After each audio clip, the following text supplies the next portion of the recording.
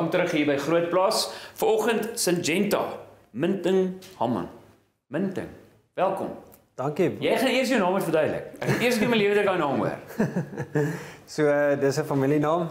My oupa se naam en my pa se naam is ook Minting Hamman, maar dit kom van uh, my oupa se se ma se nooiens van was Minting. So hulle sê vir is 'n Duitse van Minting.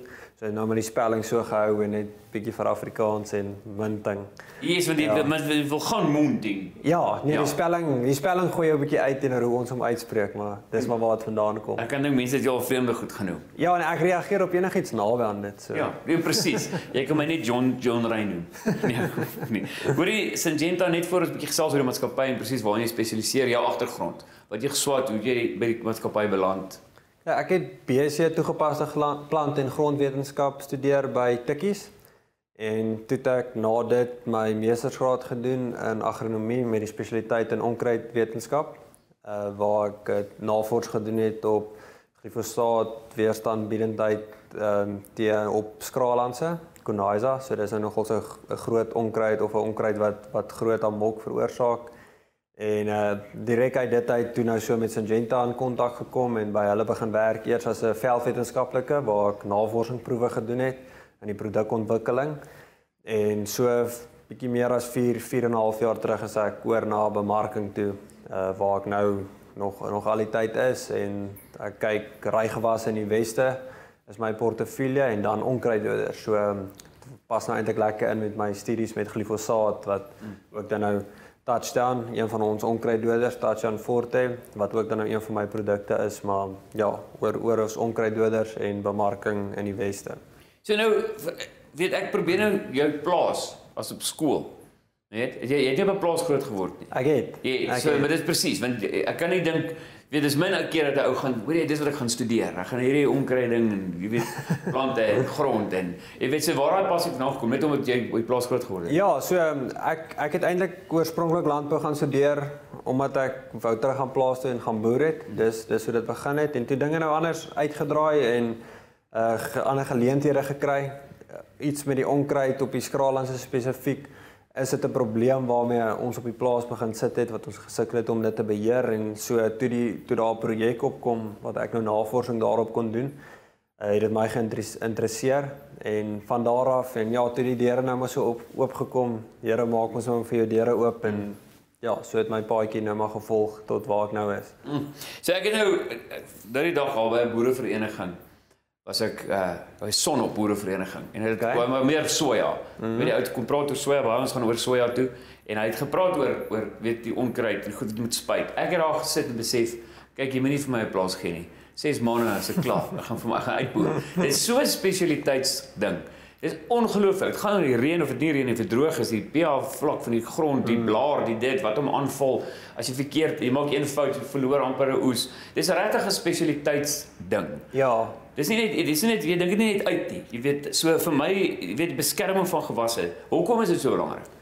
dis dis baie belangrik op die ou end wil ons meer kos produseer. Mense moet eet. Um ons almal moet eet en uh gewasbeskerming help op die ou end om dit op te som om meer kos te kan produseer. En of of dit nou is as gevolg van onkruide wat jy wat jy beheer of insekte of swamme, dit alles maak op die ou end dat jy laer opbrengs het, dat jy minder kos van die land af kan haal en laat ons in die wêreld minder kos gaan hê om te eet. So so dit is die dis op die ou end om dit op te som waarop dit neerkom.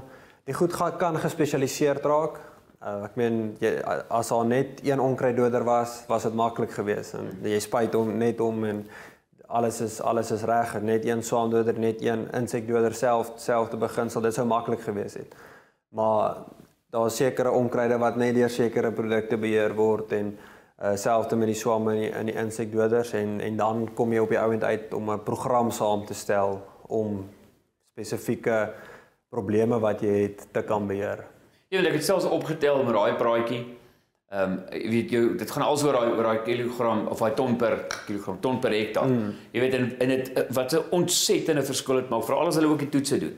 Ehm um, weet jy dis die die sprong as 'n ding reg gedoen word Ja. is is fenomenaal. Ja, nee, dit is verseker so. As ek nou meer na die onkruid kan beheer kan toe kan kan neig Ehm um, ja, onkruid onkruid neem meer voedingsstowwe en water op as wat dit eintlik nodig het. Hmm. En uh dit steel dit letterlik van van jou gewas af en daarom moet jy hom beheer. Dit kan groot invloed op jou op jou ehm um, op jou opbrengs hê. En dit is makliker om hom te beheer voor voordat hy eintlik opkom, voordat hy effek kan hê. So dis hoekom vooropkoms onkruidweders ehm um, uitstekende maniere is en ons sien in ons data ook dat jy jou beste resultate en opbrengs kry as jy onkruid van vroeg af beheer. Mm. As jy met plante vooropkoms onkruidweders spuit, so jy sien fisies nie die onkruid opkom nie.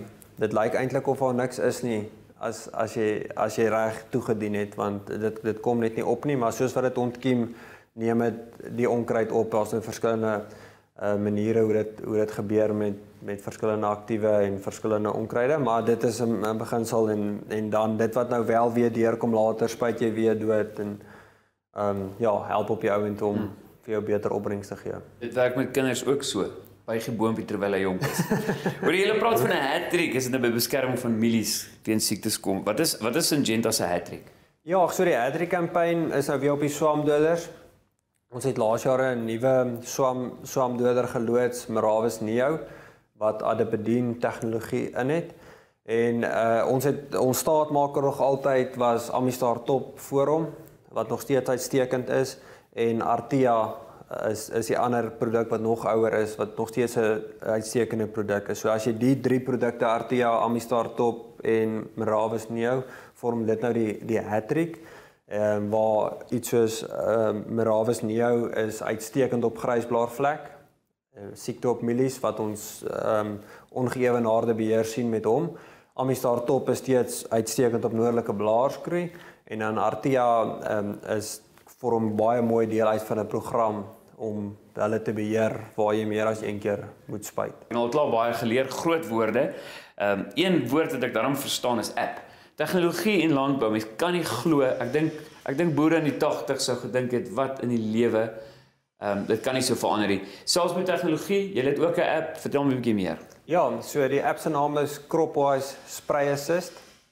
En dis dis tipies wat die app doen, Spray Assist. So hy die app help jou met beplanning vir wanneer om te spuit, wat die ideale toestand is om te spuit. Jy moet jy moet temperatuur, humiditeit, wind, reën, alles in ag neem wanneer jy wanneer jy spuit en hy neem dan nou al hierdie verskillende faktore in ag om dan nou vir jou uh, per uur 'n voorspelling te gee of dit ideale spuittoestande gaan wees. So hy dan dit hy werk eintlik baie maklik. Hy wys vir jou as dit rooi is, dan moet jy glad nie spuit nie, dan sien wind het sy heeltemal te sterk of die temperatuur is te hoog of die humiditeit is by verre te laag. Geel is een van die faktore so op die grens basies om dit op te som en dan groen wys ideale spuittoestande. En dit kan nogals ons ons kom agter daar daar is 'n tekort aan kennis in die veld rondom dit. Ehm um, ons is geneig om net na wind te kyk in Suid-Afrika en iets soos humiditeit speel 'n enorme rol in die effektiwiteit van van jou uh, gewasbeskermingsproduk wat jy toedien. En die app is is is net 'n hulpmiddel vir die boer om die beste uit sy produk uit te kry. Hulle betaal baie vir hulle produk mm. om hulle gewas te beskerm en as jy hom verkeerd toedien, uh kry jy nie die nodige effektiwiteit nie en dis dis baie geld wat jy dan eintlik mors uh net omdat hy verkeerd toegedien is. En die app help jou dan nou daarmee om op die regte tyd om toe te dien om die beste werking te kry en op die ou end maar weer terug te kom by wat ons nou nou gepraat het mm. om goeie opbrengste wat die boer op die plaas hou en saam met dit kos vir die wêreld produseer.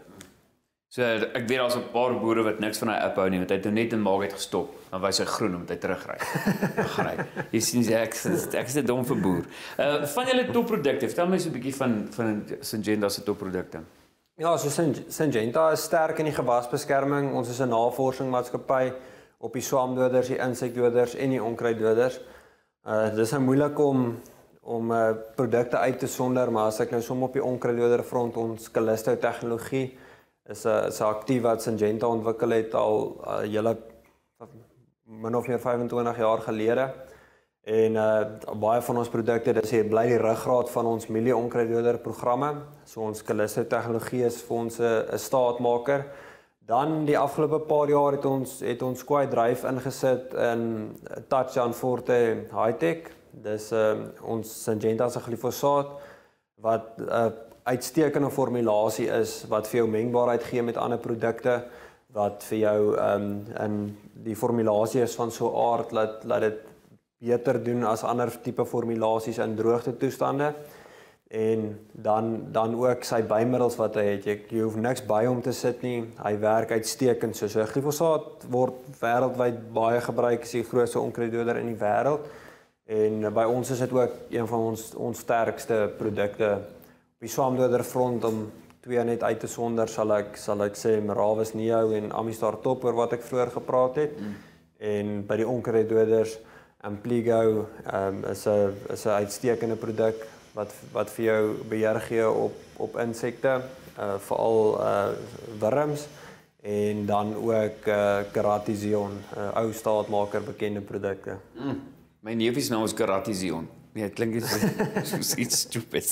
Hoorie, jy verskaf ook saad, dis nie jou afdeling nie, maar vertel my 'n bietjie van dit. Ja, so Syngenta het het belê in die saadmaatskappy Sensaku wat baie bekend is in Suid-Afrika, baie sterk brand name het Sensaku. En uh so Sensaku is die is die leier in koring tans en dan is hulle besig hulle het baie goeie sonneblom kultivars, die mielie kultivars is besig om in te kom. So ons is nogals opgewonde vir die samewerking hmm. met die saadmaatskappy om die hele oplossing vir die boer te kan gee. En uh ja, dis maar dis maar 'n kort. Dis 'n goeie sinergie. Baie ja. Hulle het 'n hulle het 'n mooi storie daar buite Bethlehem. en dan julle baanberekers werk gedoen. Dis um met potato pack. Dit dit klink sommer na iets wat my aandag trek. So vertel my 'n bietjie van hierdie hierdie potato ja, pack. Ja, so die die potato packs is is pakke wat hulle saamgestel het wat omdat Syngenta amper die basies die volle program vir die boer kan gee, het hulle swaamdoders en insekdoders en dis 'n ingewikkelde program wat weekliks gespuit moet word. Het hulle al die produkte saamgesit in 'n pakkie vir die vir die boer. Maar ons het nou gesien in die laaste tyd dat uh vereistes in sekere areas verskil en dit mag dalk wees dat dat boere sekere produkte nie nodig het nie of dit sal wil vervang met iets anders. En ons wil nie iets vir die boer gee wat hy nie nodig het nie. Ons dis nie dis nie hoe ons dit doen nie.